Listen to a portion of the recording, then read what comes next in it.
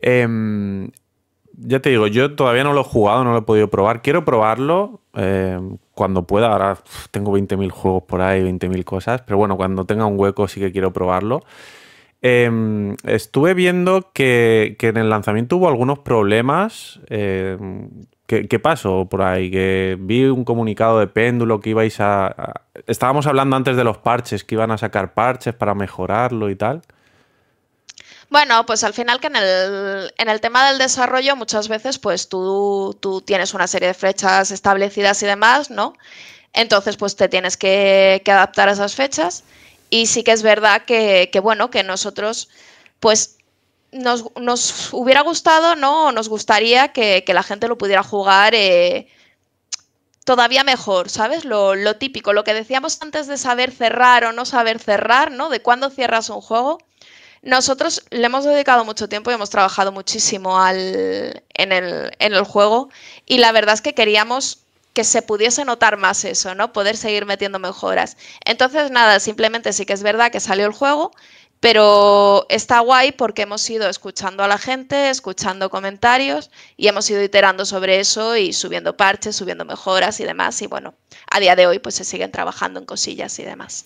Sí, porque imagino que a día de hoy, ya hablando en general eh, de todos los juegos, eh, los plazos de, publicación son como muy ajustados, ¿no? Como, imagino que meten mucha presión a la hora de, los plazos o, tenéis bastante libertad en ese sentido. ¿Cómo...?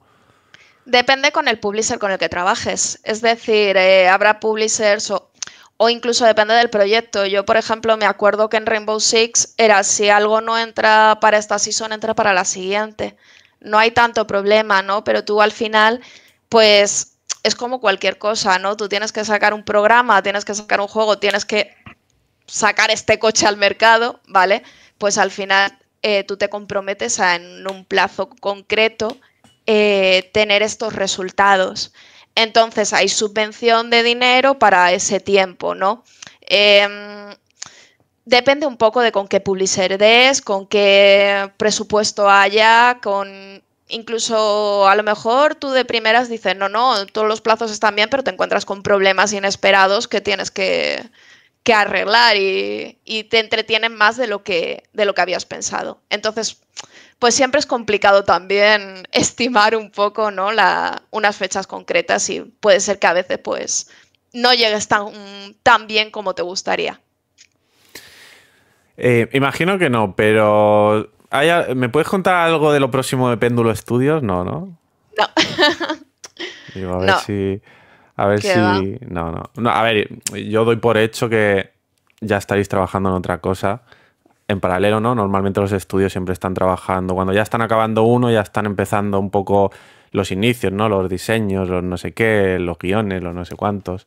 Pero bueno, esperaremos, esperaremos. Sí, sí. Habrá cosas muy chulas, guays. Estamos, o sea, es lo que dices tú, no, no paramos, no paramos. Siempre, siempre hay algo y siempre se piensa en lo siguiente para no estar nunca parados y, habrá cositas. Así que nada, a ver, cuando Péndula anuncie lo que sea, ya, ya podremos hablar. Pues sí.